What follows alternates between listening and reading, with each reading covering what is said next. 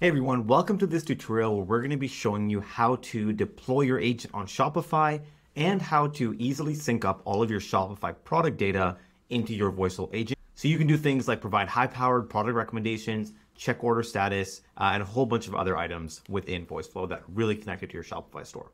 Now for this tutorial, we are going to be using an app called Streamline Connector that is a Shopify app built by community members of the community uh, that handle and make this process super easy. So let me just show you what the end product looks like, uh, and then we're going to get into it. So here we've got a e-commerce store called Drake Waterfowl. So they uh, do eight figures in revenue in the States, uh, tons of different products that are in their catalog. And so if I go ahead to their VoiceFlow agent in the bottom corner, and this is live, so you can actually go ahead and test this out. So you can do a ton of stuff in here, like ask a policy questions, like what's your return policy, check my order status, etc. But the one thing I want to show off here, which I think is super cool, is actually getting a product recommendation. So let's go and ask it something like, I'm going fly fishing in the winter. What are some items? Maybe let's make it, let's, what are some hats um, you would recommend? And now this is going to send this query to the product database. So all the information that was synced between VoiceFlow and Shopify.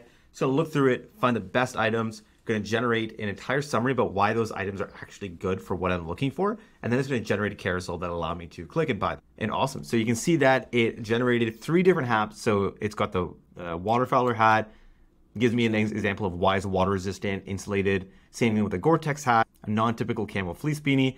And I can see them all over here. Mm, this one looks good, looks like what I want for the winter. And I'm gonna click that, it's gonna take me right to the product page and allow me to actually add to cart and check it out. So super, super powerful. Um, the client that's using this is getting a ton of questions answered. It's answering a ton of support tickets. It's handling things like returns, like emails, like questions. And it's also actually pushing new sales for people who are coming to the website and trying to figure out what to buy. It's basically like having a sales agent or someone who's actually in store that can give you recommendations on what you're looking for and answer those tough questions that a lot of the time you just don't get the chance to answer really quickly for your customers.